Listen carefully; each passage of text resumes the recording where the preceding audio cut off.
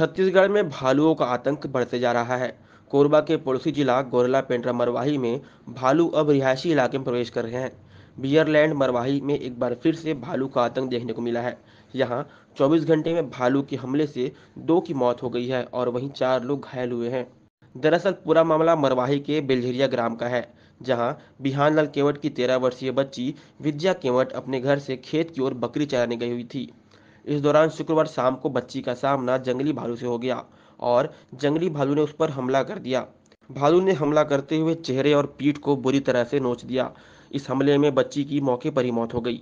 वहीं तेरह वर्षीय मासूम को मौत की नींद सुलाने के बाद एक बार फिर से शनिवार सुबह भालू ने तीन ग्रामीणों पर जानलेवा हमला कर दिया, जिसमें एक की घटनास्थल पर ही मौत हो गई। मरवाही रेंजर ए के खैरवार ने बताया कि ग्राम बेलझरिया निवासी चरण सिंह खैरवार, उम्र पचास वर्ष, राजकुमार तीस वर्ष शुक्ल प्रसाद बत्तीस वर्ष, सभी सुबह मशरूम बिनने घर के पास रतन जोट प्लांट में गए हुए थे। तभी भालू ने हमला कर दिया। इस हमले में शुक्ल प्रसाद की मौके पर ही मौत हो गई। बाकी घायलों को 108 की मदद से मरवाही अस्पताल में इलाज के लिए भर्ती कराया गया है, जहाँ इलाज जारी है। वहीं करगी कला निवासी सेवकलाल और सेमलाल आज सुबह खेत देखने गए थे। उन पर भी जंगली भालू ने हमला कर दिया। उन्हें भी डायल 108 की मदद से मरवाही अस्पताल लाया गया, जहाँ इलाज जारी है। बता दें कि मरवाही वनमंडल में पिछले 45 दिनों में भालू के हमले से 20 से ज़्यादा मामले सामने आ चुके हैं।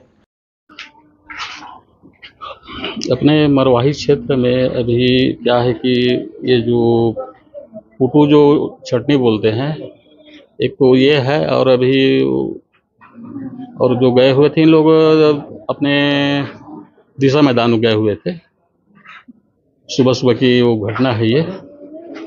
और वो जो लड़की एक को भी डेथ हुई है आ, वो गया हुआ था अपने क्या भर्रा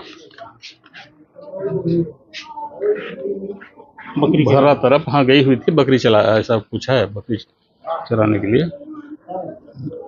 कितने लोग की मौत हुई है सर दो दिन में? आज कल के कल हुई थी वो वो लड़की की हुई विद्या किमट करके और आज सुकुल है सुकुल खरवार करके है। उम्र उनका है बत्तीस वर्ष है उनका। दो दिन में दो की मौत हुई है। हाँ जी और लगभग पाँच घायल है। पाँच घायल है उनका चल रहा है अभी इलाज यही है ट्रीटमेंट चल रहा है। ड्रेसिंग वेसिंग हो रहा है उन लोगों का। जो घायल और मृतक है उनको किस तरह का मुआवजा वजह कुछ दिया गया अभी?